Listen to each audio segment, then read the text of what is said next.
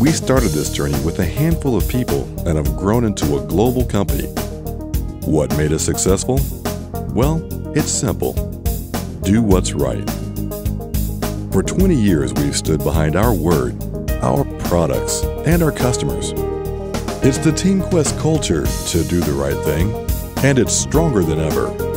We're 100% dedicated to help you reach your goals and achieve IT service optimization.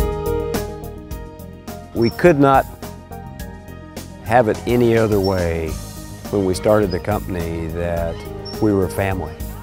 We're in this together. Everybody's going to have to pull their own weight and more.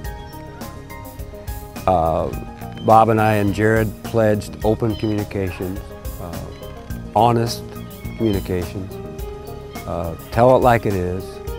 And again, Bob would say it's the right thing to do.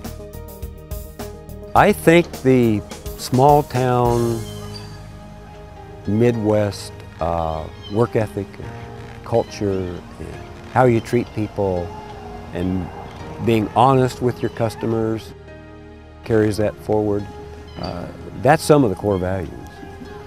And then another one too, I think, uh, Terry, had the basis was really a little sign you had on your desk. I don't know if you remember this, but you had a little plaque on your desk that said, um, take care of your customers. If you don't, somebody else will.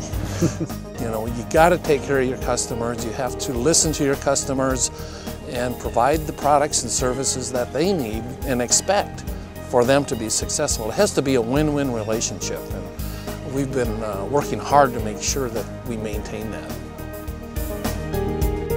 For 20 years and counting, TeamQuest has specialized in the capacity management space by treating customers as partners and by simply doing what's right.